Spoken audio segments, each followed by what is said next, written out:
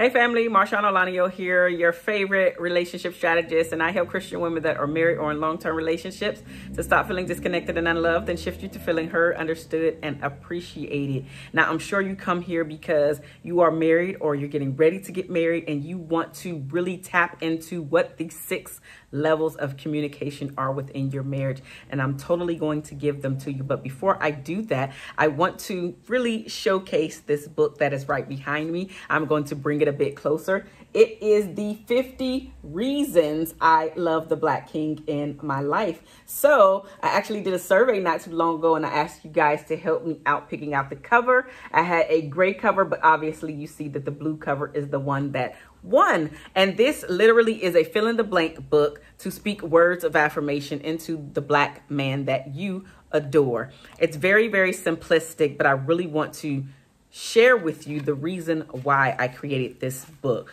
This beautiful book, it really is a fill in the blank book where I have 50 different prompts for you to start off with, and then you complete the sentences so you can speak words of affirmation into the Black King in your life. And I really want to just say thank you, but then also because I really felt like I needed to create something for Black men because in my experience, Black men don't get a, enough recognition. They don't get enough respect from outsiders, but then even some people that they're in relationships with. And so I just really wanted to pay homage to the black men that I know, that I love, that I adore, and including, but not limited to, my own husband. So why I created this book. I created this book because our black men need to feel loved, respected, adored, and needed within the home. I want black men to feel encouraged despite what the media says he is and what he does inside as well as outside the home. I want black men everywhere to know that his life matters, that he matters, that he is needed. He can be secure in knowing that he is enough. Your black king has not heard on a regular basis how much he is needed by you in your relationship or by your children. This book acts as his reminder. This book pays homage to the black king in your life. As you affirm him through your words, he will feel your respect. He will be honored to know you and to be loved by you. He will light up when he reads how you really feel about him and what he brings to the relationship. So allow your words to flow freely as you express what your black king means to you. And so again, I just want to show you uh, just a few of the prompts. Very simplistic. The book is in color for those of you who are wondering. So just a few prompts so you can see some of the statements that are written in here. And again, you go and fill out the book, complete the book yourself. So the Black King in your life can feel honored and respected and cherished by you.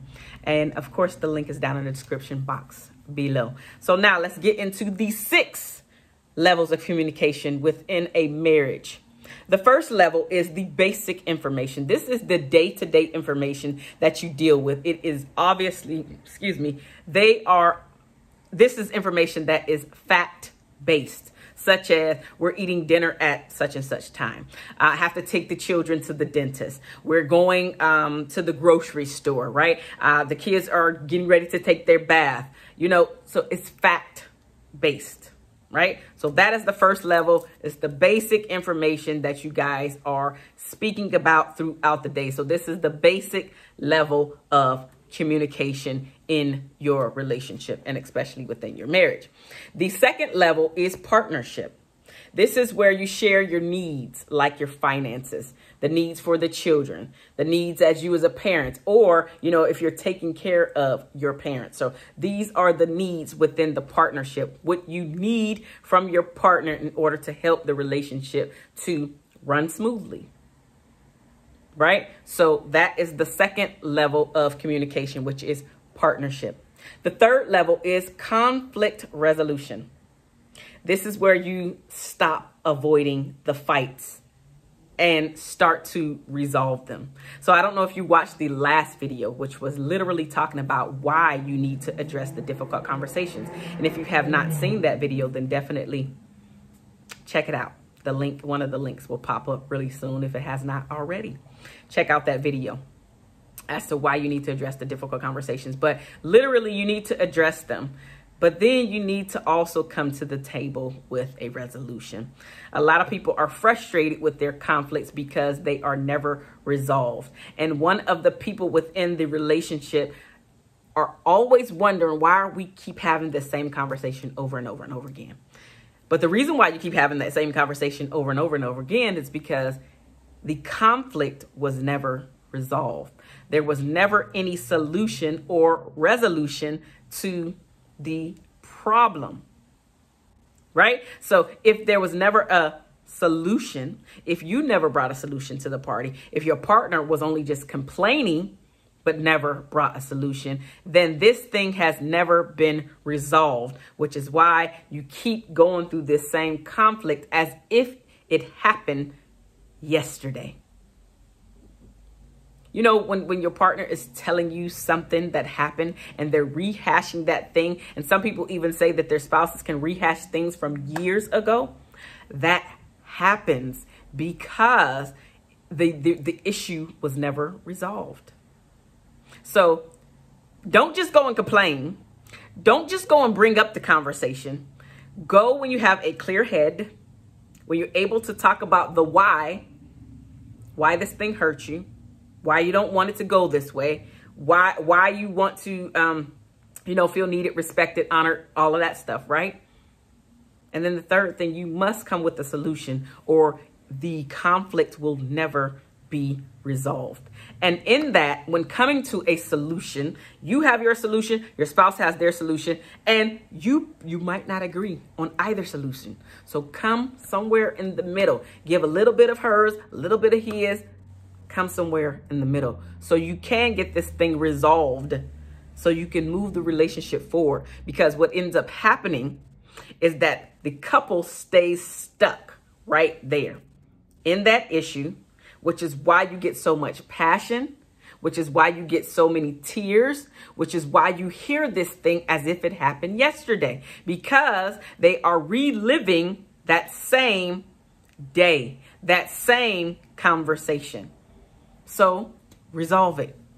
Resolve the issue, resolve the problem so you can stop having the conversation.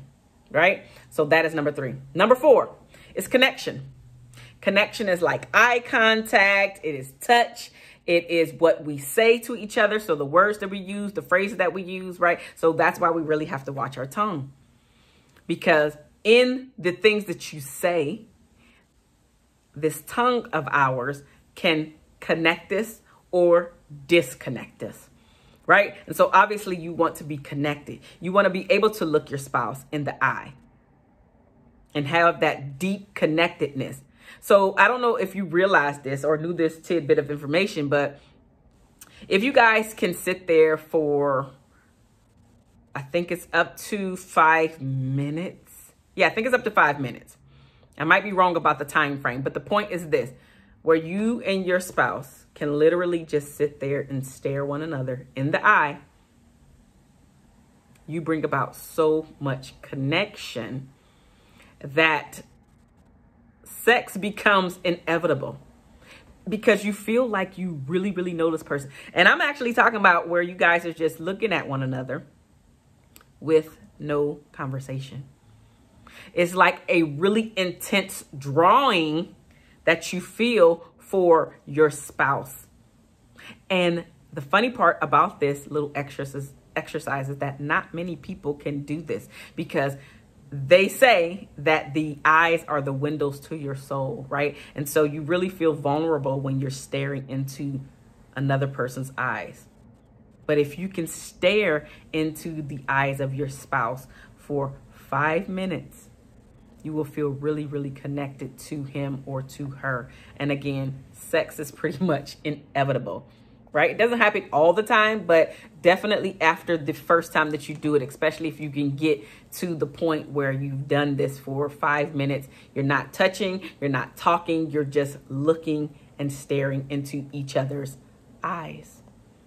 Let me know if you try that. If you try that out, please let me know how it goes for you. Come back to this video or comment it on another video because I really want to hear how this worked out for you.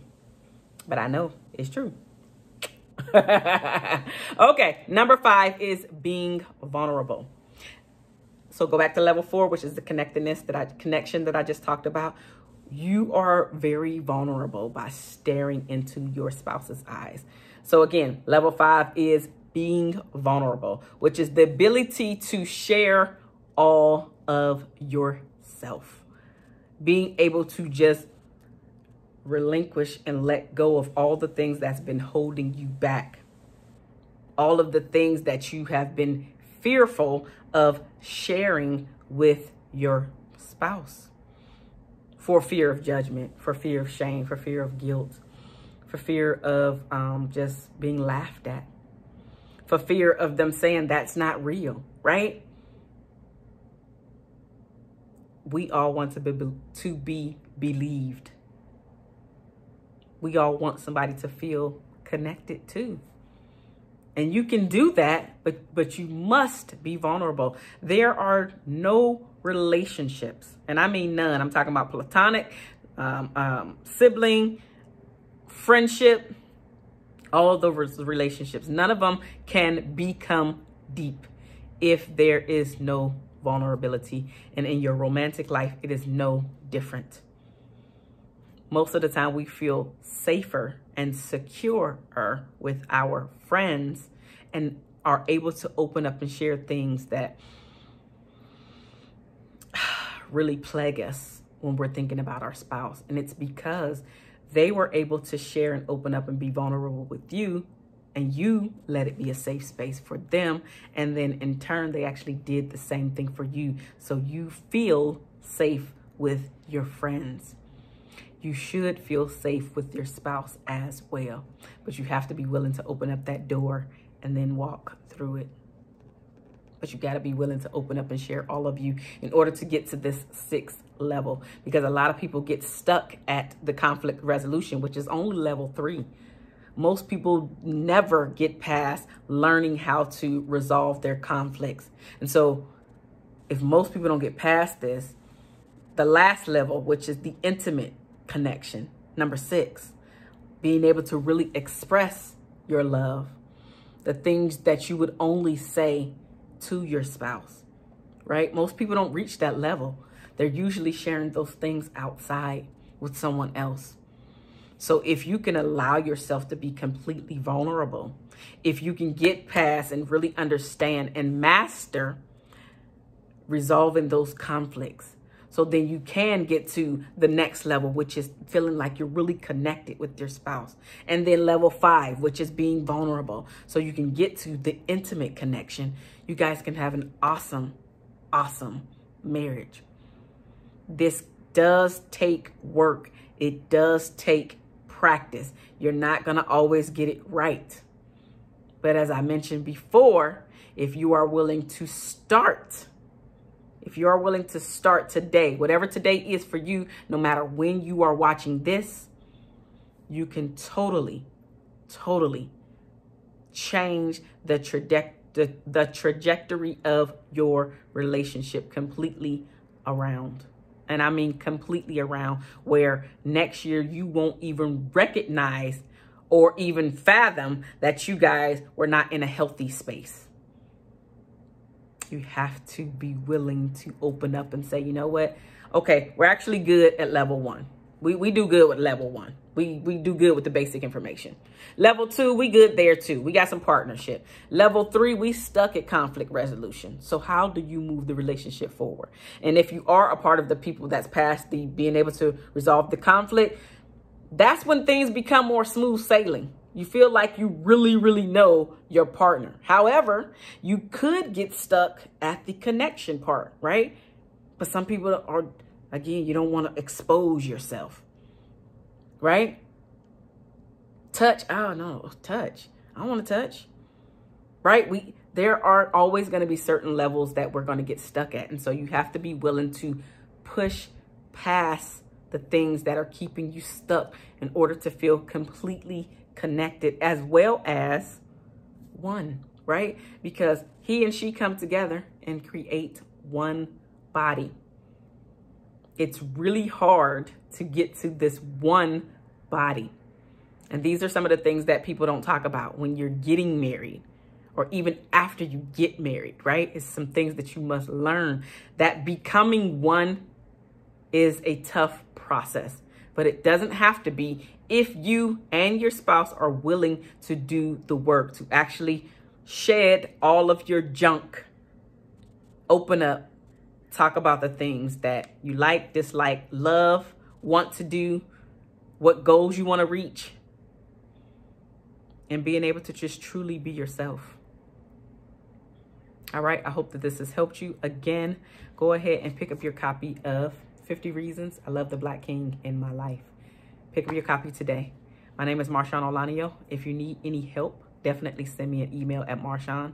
I'm MarshaunOlaniyan.com. That information is down in the description box below. I love you guys. There's nothing that you can do about it, and I will talk to you later. Bye.